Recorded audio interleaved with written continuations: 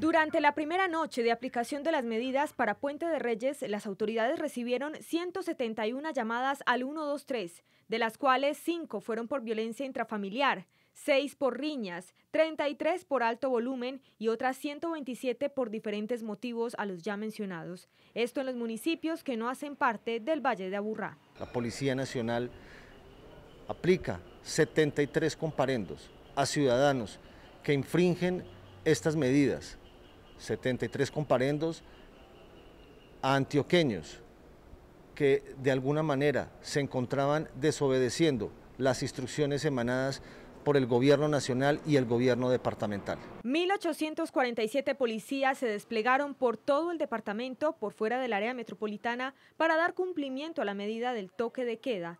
266 efectivos de la seccional de tránsito y transporte mantienen el control en 24 cuadrantes instalados en distintos ejes viales.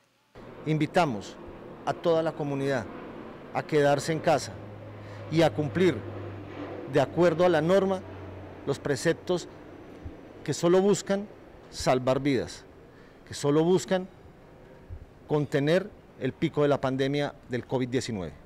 Los puestos de control en las vías, la vigilancia a los establecimientos financieros, de residencias y fincas, el perifoneo y los patrullajes rurales fueron otras de las actividades realizadas por la policía para garantizar el cumplimiento de la medida.